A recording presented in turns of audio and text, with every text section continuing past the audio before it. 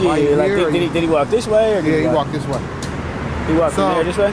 Where the video starts, Okay. what we understand is it's about right here, and you had somewhere between five to ten officers approaching him this way, essentially approaching him this way, coming back in this direction, essentially driving him this way. And so they all walked up on him, got pretty close, within 10 feet of him, all of them with their guns drawn. San Francisco police carry 40 caliber guns with them. All had their guns drawn. They were standing in line similar to a firing squad. And Mario seeing that was up against the wall. You could tell he was disoriented. And as the officers closed in on their kill, they then started firing uh, beanbag rounds. A couple of those beanbag rounds hit him, dropping him to his knees.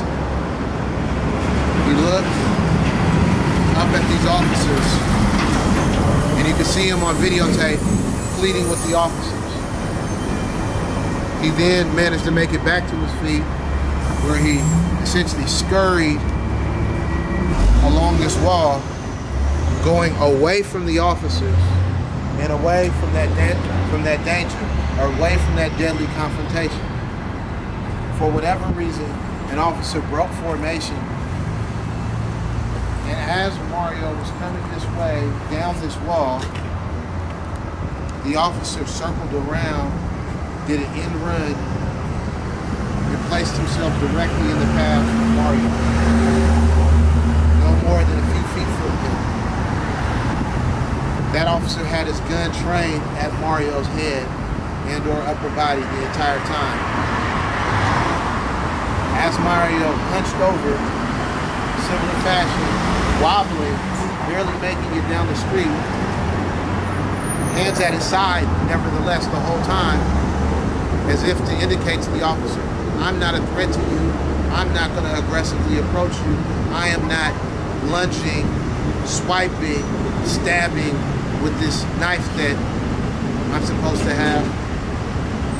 That officer who was in front of him, for whatever reason, opened fire. And what happened was a cascade of bullets. We counted over 20 bullet holes in this young man. He was literally riddled from head to toe. I personally counted those bullet holes. I personally handled that young man's body. And it was here on this spot where he took his last breath. It's here on this hollow ground that that 26-year-old young man who was due to start work in a few days at UPS would never realize the promise, the dreams, and the hopes of his mother and his community.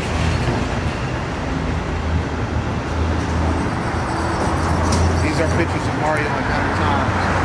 He and his mother.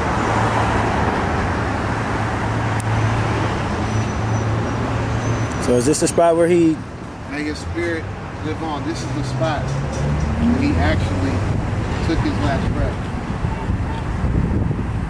This is the spot where he was